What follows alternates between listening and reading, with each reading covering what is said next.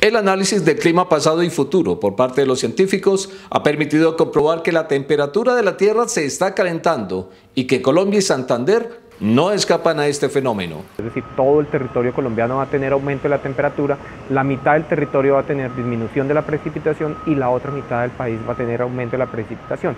Esta es la importancia de este problema que en los recientes Juegos Olímpicos de Río se quiso llamar la atención del mundo sobre las consecuencias del calentamiento global. El tema lo han tomado en serio en los dos Santanderes, las autoridades ambientales y territoriales, los gremios y la academia, que decidieron reconstituir el nodo regional norandino de cambio climático. De este grupo forma parte la Corporación Autónoma Regional de Santander, que incluirá el cambio climático en los determinantes ambientales que les sirve a los municipios para ordenar sus territorios. Poder incluir el tema de gestión de riesgo y cambio climático para que los municipios tengan ese instrumento para que les sirva de guía para la actualización o formulación de sus esquemas de ordenamiento. La CAS también incluirá el cambio climático y la gestión del riesgo en el ordenamiento de las cuencas hidrográficas de su jurisdicción, más conocidas como PONCAS. Estamos haciendo unos pronósticos y unas caracterizaciones que nos permiten saber qué es lo que va a pasar a futuro en el territorio.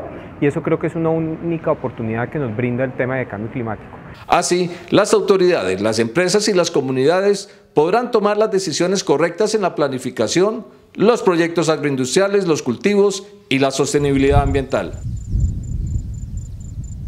Corporación Autónoma Regional de Santander, responsabilidad ambiental, compromiso que nos une.